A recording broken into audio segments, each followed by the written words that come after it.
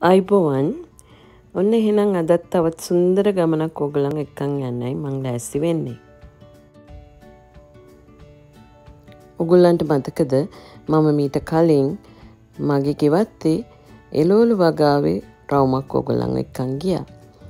අද මං ඕගොලන් එක්කන් යන්න යන්නේ මගේ මල්වත්ත බලන්න. ඉතින් ඕගොල්ල වැඩි දෙනෙක් දන්න විදියට මං ඉන්න ඇමරිකාවේ සීතරිතුව තියෙන පැත්තක. ඉතින් ඒක නිසා එලෝලු වගේම ගොඩාක් මල්ජාතයත් අපිට හදන්න දකින්න ඉවයි ලස්සන විඳන්න පුළුවන් වෙන්නේ සමායකට මාසේ කැනි මාසිතුන හතරක් වගේ පොඩි කෙටි කාලෙකට අප්‍රේල්වල ඉඳලා සැප්තැම්බරවල විතරකං විතරයි.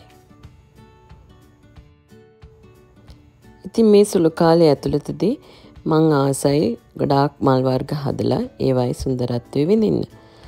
ඉතින් එන්නකෝ ඔගොල්ලොත් මගේ වත්තේ රවුමක් ගිහිල්ලා බලන්න මේ මල්වල ලස්සන. අප්‍රේල් අන්තිම වෙනකොට ඇසේලියා රෝඩඩරන්ඩන් වගේ මල් පිපෙන්න පටන් ගන්නවා. මගේ ළඟ පාට කීපයකින්ම ඒව තියෙනවා.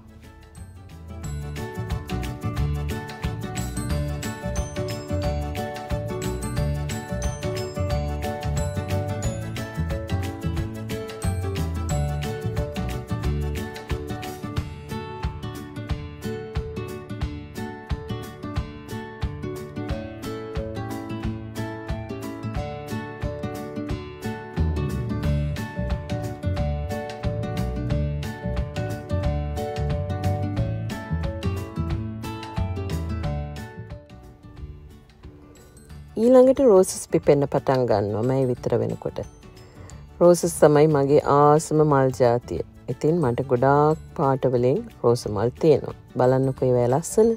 ලස්සන වගේම තමයි මං ගොඩක් වෙලාවට ගොඩක් සුවඳ තියෙන රෝස මල් තෝරගන්නවා මගේ ගෙවත්තේ හදන්න.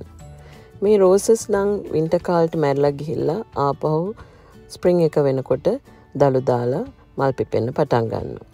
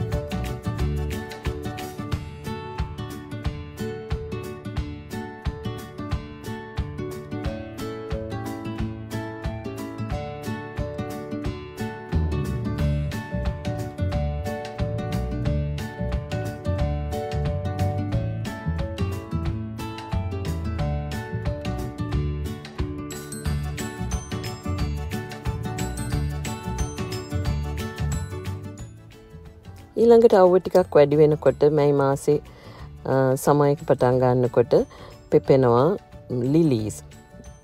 ඒ වලක් වර්ග දෙකක් තියෙනවා ඩෙයි ලිලිසුයි. අනිත් මේ ලිලී එකයි. එකනොත් පාට ගොඩක් මට තියෙනවා. හරිම ලස්සනයි.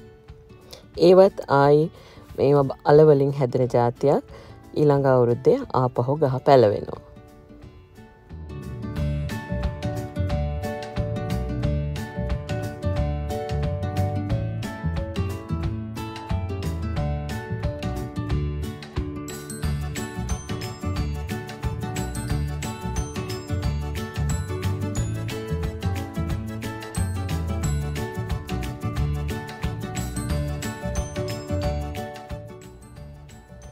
ඒකම වගේ තවත් බල්බ්සුලින් හැදට මල් ජාතියක් තමයි අයිරිස් එකත් හරිම ලස්සනයි.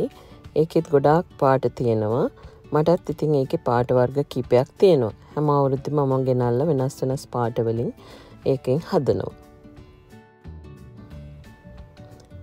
මේ ඔක්කොම මේතාක් වෙනකම් පෙන්න්නපු මල් ජාති පෙරේනියල්ස් ඒ ඇන වින්ට එකට මැරිලා ස්ප්‍රිං එකට ආපහොයව දළ දාලා මල් පිපෙන්න්න පටන් ගන්නවා. ස්ප්‍රිං එකේ සමය එකේ.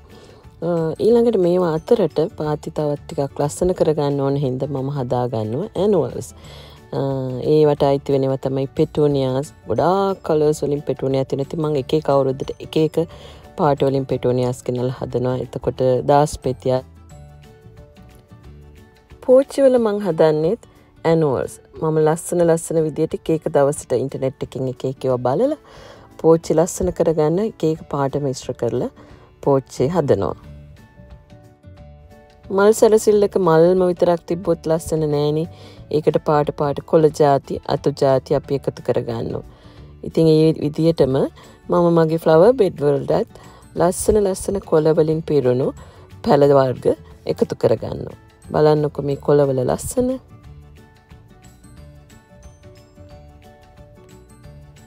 මේවා ගොඩාක් වර්ග හොස්ටා වර්ග එතකොට බිගෝනියාස් වර්ග මේවයිනෙත් වැඩි හරියක් මම එකතු කරගන්නේ පෙරේනියස් එතකොට ඉතින් මට හැම අවුරුද්දෙම අලුතින් අලුතින් ගෙනල්ලා හදන්න ඕනේ නෑ. හැබැයි ලස්සන මොනොහරි දෙයක් කොළ ජාතියක් දැක්කොත් ඇනුවල් එකක් දැක්කොත් ඒකත් මම ගෙනල්ලා මල්වල තියෙන මල්වල පාටිට ගැලපෙන එකක් එකතු කරගන්න. මේ ඔක්කොම අතරට ලංකාව මතක් වෙන්න ලංකාවේ හැදෙන කූඩලු එතකොට නිල් කටරොඩු වදමල් වගේ ජාතිත් කෝමාරි පැල ටිකක් හොයාගෙන ඇවිල්ල එකතු කරලා මං මේ ටික කාලය ඇතුළත ලස්සන බලනවා. ලස්සනයි නේද ති මේ වගේ පුංචි මල්වත්තක් ඔගොල්ලොත් හදාගන්න.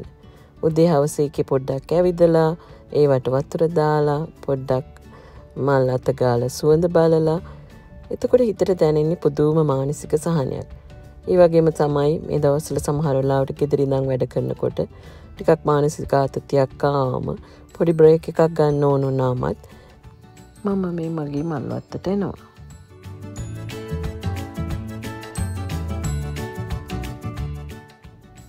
එහෙමනම් තවත් මේ වගේ ලස්සන වීඩියෝකින් හම්බ වෙනකං ගෙහින් එන්නම්.